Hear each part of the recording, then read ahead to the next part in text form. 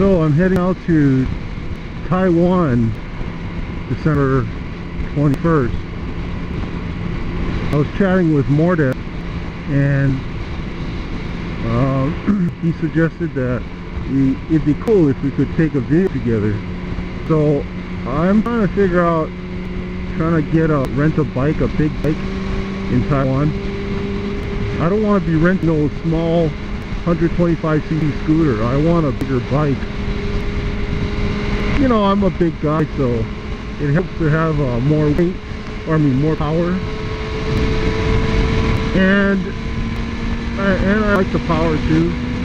So my my dream has always been to go around Taipei on a bicycle, but I'm just so out of shape. I, I and I think I think I'm a bit older. I just don't have the willpower to do it.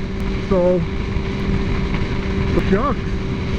I just I just don't want to do it. Like before, but a bicycle can get me um, get me what I want. I mean, a, a motorcycle gets me all the enjoyment without the price. So yeah, I'd like to, it'd be really cool if I could, if I could do that.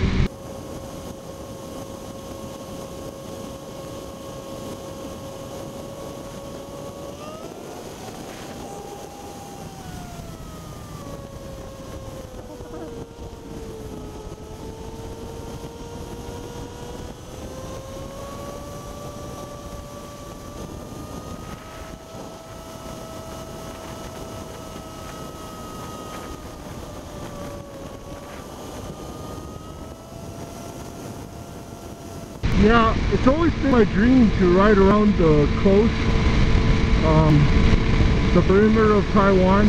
I don't know if I can do a full circle island. Um, it's the, the motorcycle rentals there are too expensive, you know. And also, I don't know the roads there, so that'd be tough. It's gonna have to just be a complete exploration, uh, complete um, adventure for me.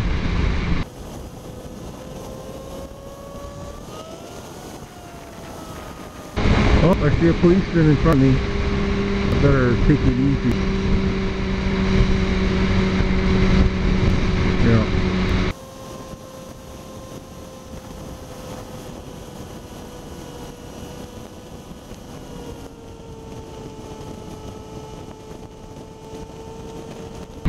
Geez, this was second gear the whole time. Goodness.